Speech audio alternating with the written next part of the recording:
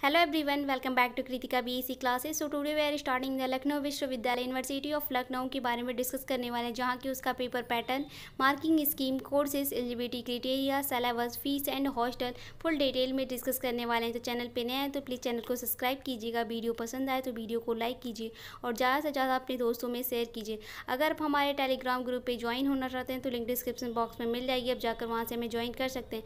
अगर स्पेशली हम बात करें तो देखा जाए तो बी सी या फिर फिर एमएससी या फिर जितने भी एंट्रेंस एग्ज़ाम्स हैं, इस टाइम हो रहे हैं। यहाँ पे लखनऊ का भी बॉटनी माइक्रोबायो का पेपर हो चुका है, आज बायो केमिस्ट्री का पेपर है। तो यहाँ पे उससे मोस्ट इंपॉर्टेंट क्यूज हो रहे हैं Telegram group and practice set start है। तो ज्वाइन द टेलीग्राम ग्रुप यहाँ पे आज हम अगर कोर्स की बात करें तो कोर्स में zoology botany bio chemistry biotech microbio environmental science and forensic science के बारे में डिस्कस करने वाले इनका paper pattern marking scheme okay तो चलिए आज की इस वीडियो को स्टार्ट करते हैं। यहाँ पे अगर इंट्रेंस एग्ज़ाम्स की पैटर्न की बात की जाए तो for all pro PG program में जो जो क्वेश्चंस होते हैं, वो हंड्रेड क्वेश्चंस होते हैं और जो इनकी टाइमिंग होती है वो नाइन्टी मिनट होती है ओके यहाँ पे मार्किंग पैटर्न की बात करें तो एक क्वेश्चन इस question will be the two mark there shall be no the negative marking यहाँ पे एक क्वेश्चन जो है आपका वो टू मार्क का, यहाँ पे निगेटिव मार्किंग नहीं है।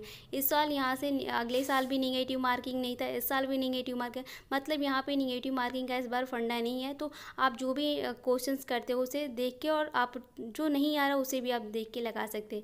यहाँ पे सबसे पहले हम बात करते हैं जूलॉजी की। जूलॉजी का जो एग्ज़ाम डेट है वो एलेवेंथ एलेवन सितंबर टू थाउज़ेंड ट्वेंटी वन को है। अगर इसकी ड्यूरेशन की बात करें तो वहाँ पर फोर्थ सेमेस्टर होता है। यहाँ पर सीट की बात करें तो सीट जो है वो फिफ्टी सीट है।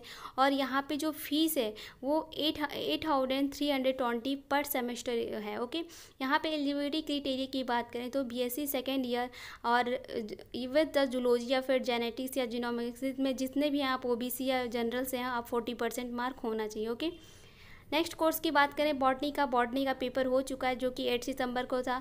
यहाँ पे उसकी ड्यूरेशंस की बात करें तो फोर्थ सेमेस्टर सीट जो है आपकी फिफ्टी है टाइप जो है वो रेगुलर है एंड फ़ीस जो है, यहाँ पे फ़ीस का की बात करें तो eight hundred two thousand twenty okay first semester okay eligibility criteria की बात करें तो B S C with botany final with minute in the mark forty five percent होना चाहिए क्योंकि अगर आप जनरल ओ बी सी से हैं जनरल ओ बी सी से हैं तो forty percent forty five percent होना चाहिए अगर आप एस सी और एस टी से हैं तो वहाँ पर आपका फोर्टी परसेंट मार्क होना चाहिए ओके? उसके बाद हम बात करते हैं यहाँ पे बायो केमिस्ट्री का। बायो केमिस्ट्री का आज नाइन है।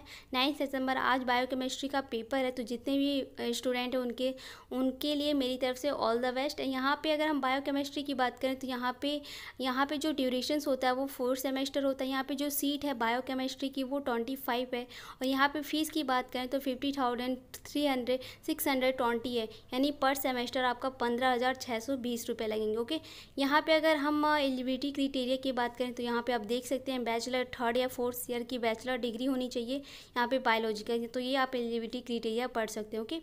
यहाँ पे अगर हम बायोटेक्नोलॉजी की बात करें तो बायोटेक्नोलॉजी का भी आज पेपर है नाइन सितंबर को है। तो उनके, उन स्टूडेंट्स के लिए भी मेरी तरफ़ से ऑल द बेस्ट यहाँ पे यहाँ पे सेमेस्टर ड्यूरेशंस की बात करें तो फोर्थ ड्यूरेशंस होती हैं।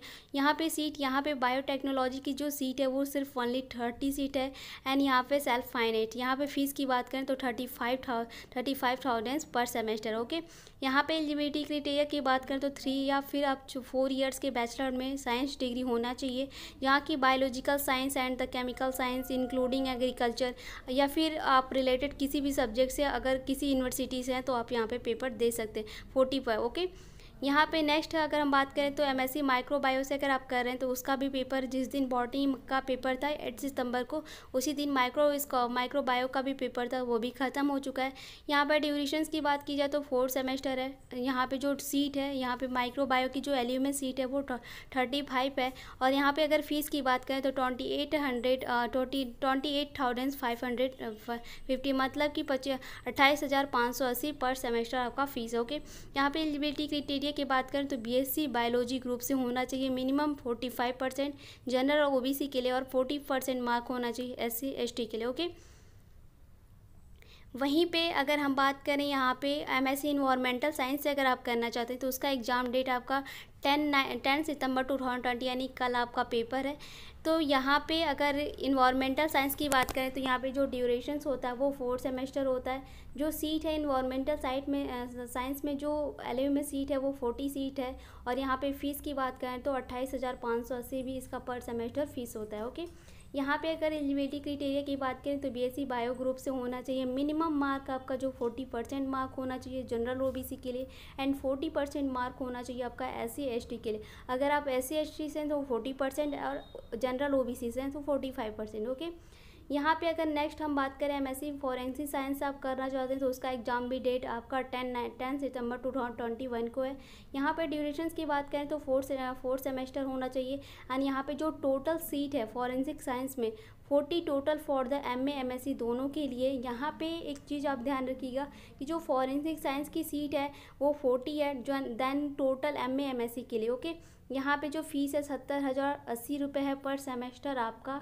ठीक है? यहाँ पे अगर एलिजिबिलिटी एनी ग्रेजुएट रिक्वायर किसी भी यूनिवर्सिटी से फोर्टी फाइव परसेंट या फोर्टी परसेंट आपका होना चाहिए एस सी के लिए और फोर्टी फाइव परसेंट होना चाहिए जनरल ओ बी सी यहाँ पर अगर हम सिलेबस की बात करें तो अगर आप ग्रेजुएशन करके तुरंत एग्ज़ाम दे रहे हैं तो question for the entrance test will be the form syllabus of graduation program आपको कुछ नहीं ग्रेजुएशन प्रोग्राम को देखना है then university of Lucknow university of जो अब अगर आप लखनऊ से करें तो उसका सिलेबस उठाइए और जो ग्रेजुएशन में पूछा है उस टॉपिक को कवर अगर यहाँ पे कुछ इंपॉर्टेंट टॉपिक की बात करें तो देन एनिमल डाइवर्सिटी यानी जो क्लासिकल जूलॉजी होगा, उसे आप देख लीजिएगा, जिसमें कि इन्वर्टिवेट वर्टिवेट है ओके सेल बायो है सेल बायो के जितने भी टॉपिक्स होंगे, जैसे कि जितने भी सेल ऑर्गनल्स होंगे माइट्रोकॉन्डिया राइबोसोम्स है बायोटेक है बायोकेमिस्ट्री है यहाँ पे जेनेटिक्स काफ़ी इंपॉर्टेंट जेनेटिक्स से काफ़ी क्वेश्चंस पूछता है।